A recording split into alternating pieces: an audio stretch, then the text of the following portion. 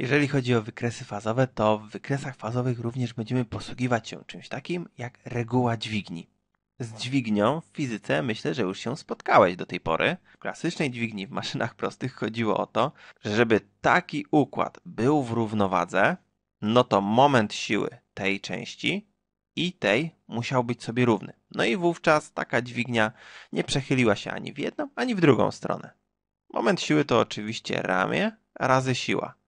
Długość tego ramienia razy ta siła. Jeżeli te momenty są sobie równe, no to układ wówczas znajduje się w równowadze.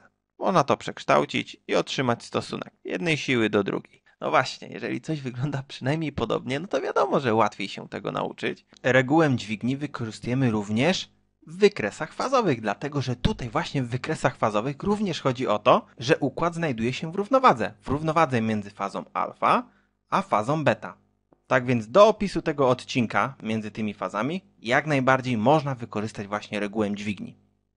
I tak samo jak w tej dźwigni w maszynach prostych, trzeba po prostu wymnożyć długość ramienia razy siła, na końcu którego ramienia działamy. Jeżeli chodzi o długość ramienia tej tego czerwonego, ile ono jest równe?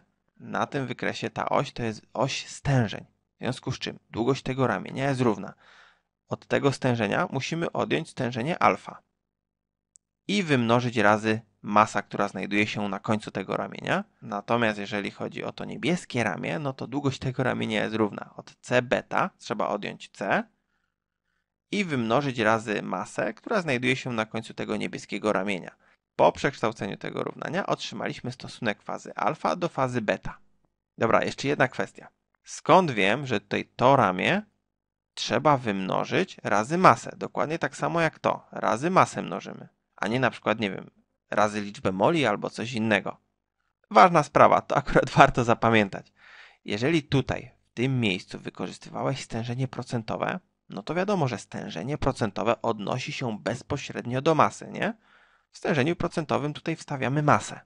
I właśnie z tego powodu wiem, że jeżeli tutaj mam odejmowanie od siebie stężeń, to znaczy, że tą siłą, która działa na końcu tego ramienia, musi być masa, bo ze stężeniem jest ściśle związana właśnie masa. Natomiast w przypadku, gdybyśmy na przykład tutaj wykorzystywali ułamki molowe, no bo tak też się oczywiście robi, no to wiadomo, że z ułamkami molowymi związana jest liczba moli. W związku z czym wówczas taki układ trzeba mnożyć razem liczbę moli.